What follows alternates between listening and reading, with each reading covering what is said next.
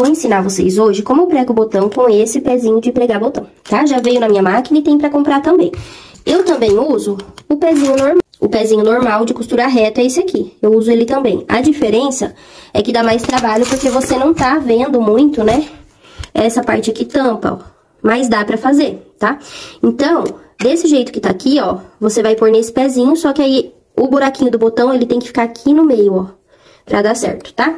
Não é só sair costurando, tem a configuração da máquina. Então, por exemplo, eu vou pôr meu ponto zigue-zague, tem que ter o ponto zigue-zague na máquina, tá? Ó, vou tentar deixar bem de pertinho.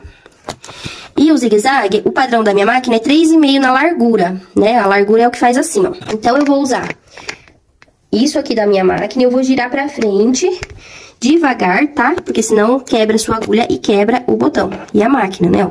Tá vendo ali onde tá entrando, ó? Girei pra frente, girei pra frente, ele vai fazer assim, vai pro lado. Ó, tá no máximo, tá vendo? Um pouquinho que você errar, se o botão sair do lugar, vai dar ruim. Vai quebrar seu botão. Então, eu vou aumentar aqui, ó, pra 5. Porque esse daqui dá pra fazer isso. Agora eu vou fazer de novo. Ó, ele já veio um pouco mais pra cá. Vamos ver do outro lado. Ó, gente, aqui vai dar certinho, tá vendo? Então, agora eu posso é, é, usar o pedal. Lembrando que o zigue-zague, a máquina costura assim, ó, pra frente. Você tem que segurar o botão aqui pra ele não ir pra frente. Você vai fazer vários zigue-zagues no mesmo lugar. Então, o que que a gente faz? A gente vai diminuir a distância Ó, vou deixar no 3, pra não ter perigo de minha máquina ir pra frente e quebrar a máquina e o botão. Ó, você vai segurar o seu botão. E eu vou usar o pedal devagar, hein? Ó, ó.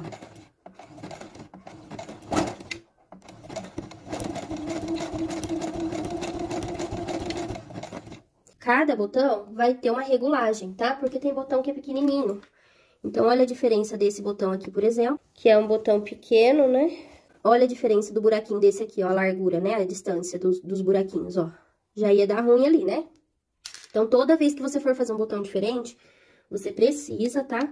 Ó, vou dar um retrocesso aqui. Pronto, arrematou. E agora eu vou fazer igualzinho na parte de baixo, não precisa mexer na, na configuração, porque a gente já achou a configuração desse botão.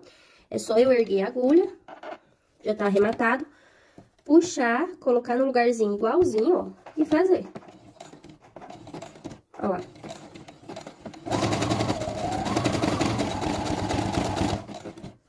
Prontinho, agora arremato. Tô apertando o retrocesso aqui, ele tá fazendo arremate. E tá pronto, seu botão foi pregado.